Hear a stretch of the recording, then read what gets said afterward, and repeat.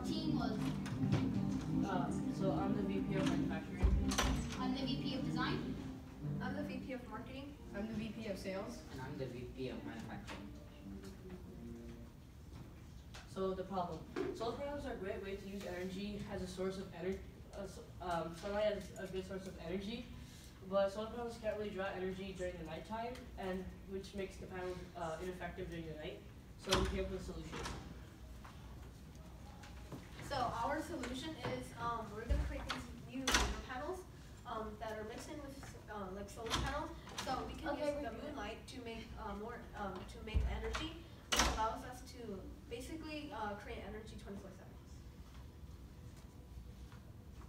So the users, the users of the lunar panels are big companies using the solar panels.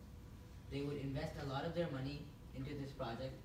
The reason being that the consumers would be getting twice as much power for a cheap price.